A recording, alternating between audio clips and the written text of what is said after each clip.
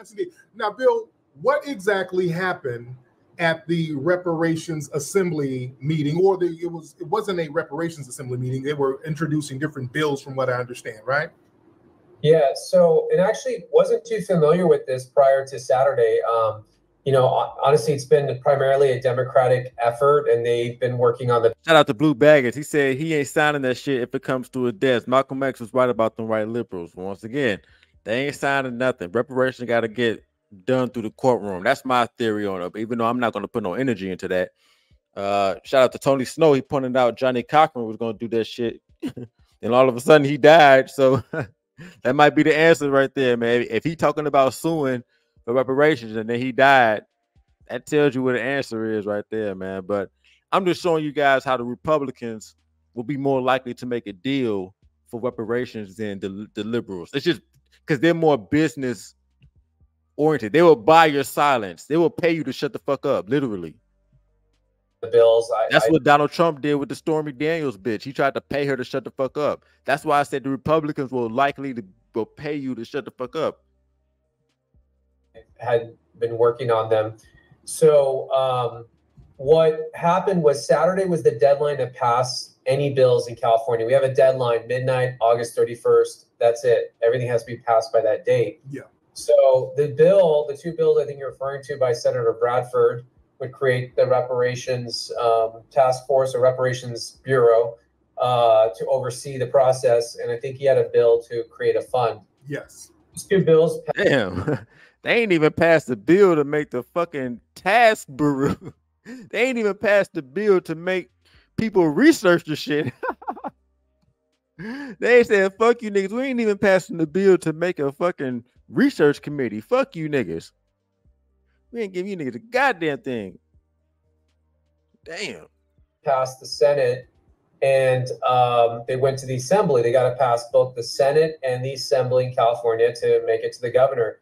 Well, my understanding is that the word came down from the governor's office to not pass the bills. He did not want the bills on his desk. Um, again, mm, he said, "Oh, okay." So that you know, word on the street.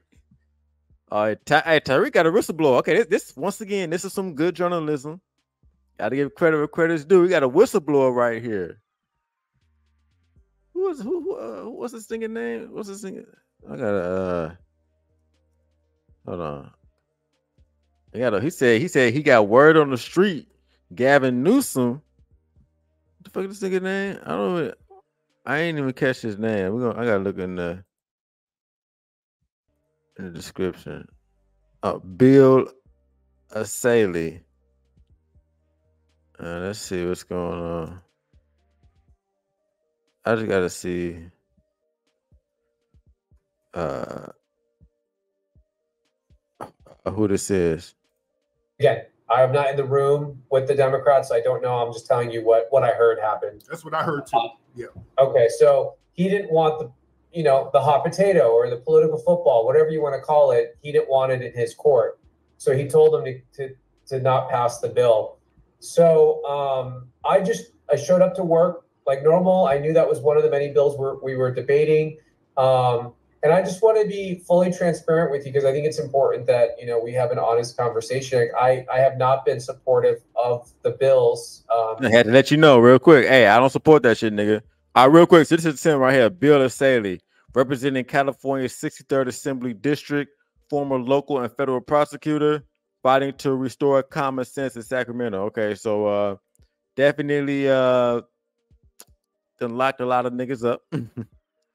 Right, so he's representing California's 63rd Assembly. I just had to see who that who that uh who he was. All right, let me uh keep playing this. All right, so he letting them know. Yeah, I was trying to pass the bill, but this is what I was saying. Even if they don't agree with it, them niggas are still willing to say, "Hey, we gotta at least it's the American way. We gotta see what the public thinks about it, even if I don't agree with it." You know, Republicans willing to say, let's get this shit out the way. I'm tired of this shit lingering because he knows it's going to come up again and again. Um, Liberals going to play games with you, you know. And I agree with a lot of liberal policies, I got to admit.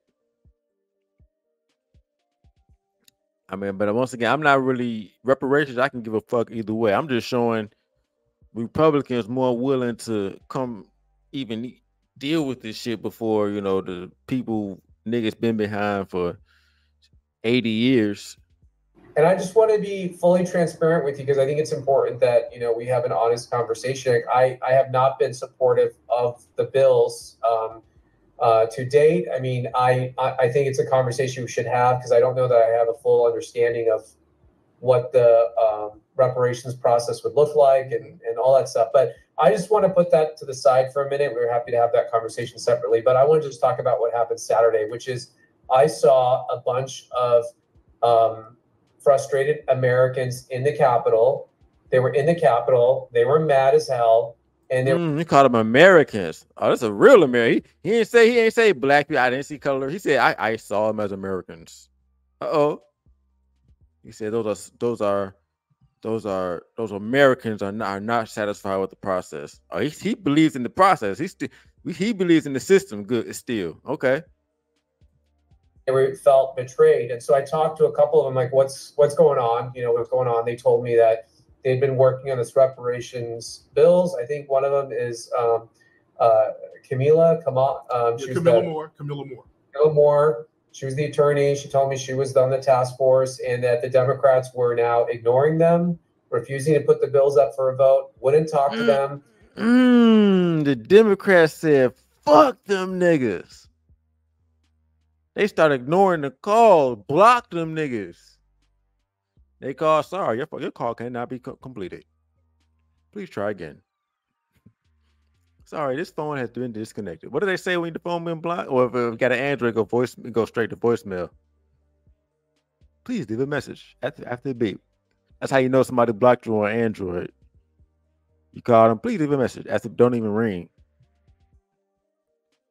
Them niggas blocked them niggas. They say, yo, we hey, nigga, we finna fund these immigrants. Fuck that. They got a check were walking by them, mocking them, and I just thought I thought that was rude and disrespectful. So they asked me if I would put the bill up for a vote, and you know, I thought I thought about it, and I said, you know what? Even if I don't agree with it, we, this is a deliberative body. We should have the conversation. We should have a debate, a debate, and we should take a vote so we know where everyone stands on the issue. And then we have an election in two months, and then people know who stands for what, and you can vote accordingly, and the whole thing. So I'm in favor of of having the debate and discussing it and taking. Mm, so this nigga was willing to put it up for a vote, and that's why they didn't want. So he was willing to put the shit up. Like, hey, let's get a vote. Fuck it. Let's hey, let's let's see what it is. Mm, and that would have been some shit right there, because they they damn. Sound like a conspiracy now. See, it sound like it sound in the vote, but uh, the only way there was a lot of games played, so I tried to bring it up just in regular order. They said I was out of order. Uh, we're not taking that bill up right now. So I said, okay, fine. I'll make a motion to take the bill up. And they said, well, you need a second. Uh, a second just means that one other member of the assembly has to join your motion, and then we would take it up for a vote. And not one person would would agree to take it up with me. And then they later they pulled the bill. I was going to try a third time, to be honest with you. And then they moved the bill to the inactive file, which really caught me off guard. I tried to challenge in the moment, but they didn't let me. The only way you can move a bill to the inactive file is if the author requests the bill to be moved into the inactive file. It's under our rules. Come to find so that was over here maneuvering, trying to get the bill. So he giving all the secrets. So this nigga, yeah, they might murk this nigga. He giving away all the uh he giving away what happened and all type of shit and uh, he talking about uh, oh shit. Okay, he giving away all the secrets. Out, they did that without the senator's um, consent or permission. So they just did it because they didn't want me to be able to keep trying to to bring the bill up. So that's the long story, you know, short, short I guess short version of the of the several hours that that transpired on Saturday night um, on what happened with the bills. Wow, that's interesting. Um, so none of the Democrats that were there who were supposed to be stumping for this bill, nobody seconded your motion at all. No, and in fact, when I brought up when I stood up to make the request, there was like a 10 minute pause because they didn't know what to do. And I had a lot of members come up to me and just beg me to not do this. Mm. Please don't do this. Please. you, you know, they said I was going to be endangering other members. They're getting threats on their lives, and I'm. Mm, they're getting threats. Who's threatening their life? Who is threatening? Is that is that the higher power? Is that the is that the shadow government? That got me thinking. Like, is it is it uh is that the motherfucking um uh what you call it? Uh what's that called? The people who really run the the hidden hand? I was just curious, like, why the fuck, you know, who's threatening their life? He's talking about he's talking about the other politicians were saying they getting threats on their life and all type of shit. Like, damn, like it's who it's who who is making threats? This a this a whist this nigga really a whistleblower if you really think about it. He really a whistleblower. Gonna be, you know, responsible for that. I just don't, you know, I, I think we're all mature adults as politics. If if someone's making threats, then you know we have law enforcement to deal with that. But I'm not going to chill my my speech and what I'm going to do based on what some crazy person does out there. I mean, so I don't know. That stuff doesn't work with me. But they try to they try to emotionally manipulate me first, and then when they saw that I was not going to back down, um, then they just kind of hunkered down and came up with this other strategy to to to get rid of the bills by moving them to the inactive file. Yeah. Now, as you said, I've seen some of your tweets in the past, and you seem like you uh, were basically against reparations to a certain degree. Um, so people would ask if you were in the past against reparations, why would you push to move the bill forward from a personal standpoint? Well, from a personal standpoint, I would say there's two things. One is I think reparations is a is a very broad term. So um, I guess we, we can have specific conversations. I'm not against making investments in our community uh, in, in, particular communities or disadvantaged communities or what, whatever that looks like. I think Republicans have a lot of ideas of how to deal with some of the past um, inequalities and and uh, you know stuff that's happened and how do we how do we write that? How do we invest in the right place? So I think there's other ideas Republicans are. So yeah, I'm not I'm not I'm not with that. I'm not with giving you niggas cash. It just is what it is. Sorry. Uh, I'm not with giving you niggas, but but I was just when I seen the video once again, I was just seeing how like damn, he's talking about niggas' lives was threatened, and you know he was talking about how niggas uh uh what you call it. How, how niggas talking about they they don't pass the bill like they gonna if, if blood's gonna be on your hands. I was like, damn, like the fuck, like what the hell was going on? What's going on at the at the government level where they was they trying to tell this nigga like, hey, you know, your your um hmm, it's, it's something in you know you know you know the, uh, what's going on up here? Like it's like damn it's illuminati threatening these niggas you know like who knows? But anyway so i seen this shit man and i was just like uh you know like god damn that sound like somebody might really be against this if it's real you know, if if you know if if the, what he's saying is real, but it sounds like uh somebody really don't want this shit passed. They're open to like school vouchers, you know, so people can. Yeah, we give you niggas school vouchers. You know, send you to the school down the street to the white people school. Send their kids to private school instead of the failing public school.